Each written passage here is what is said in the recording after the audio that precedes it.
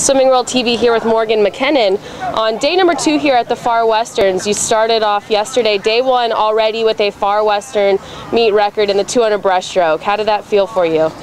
Is that good? Well, it was a very close race. It was probably one of the closest we've seen so far. So far, you were 220 here. Is that a best time for your two breast? Yeah, definitely. It was, and you guys were neck and neck. So, mm-hmm. at any point in the race, were you nervous whether you were going to get your hand on the wall first? Well, I realized on the last 50 that I had to push push myself to just go, and then the touch, I just had to throw myself at it. What do you like to focus on in your 200? Do you like to take it out quick, or do you like to work on that back half?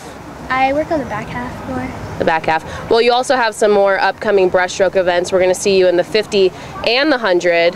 Now let's talk about this competition you have here, because you and Hallie Morris were neck and neck there in that 200. In the 100 breaststroke the other week, you guys tied in the 100 at the Junior Olympics.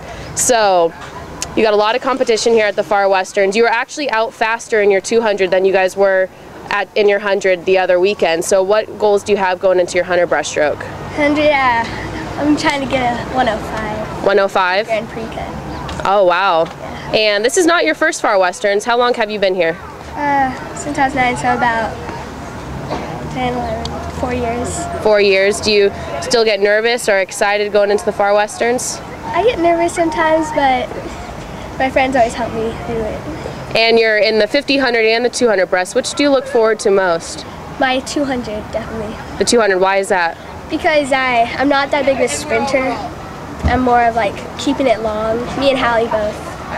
Is, is that why you think you're able to take out your 200 in a pretty quick 100 pace? Yeah. Yeah. Well, good job so far. Congratulations on that Far Westerns record, and we look forward to your hun- 50 and 100.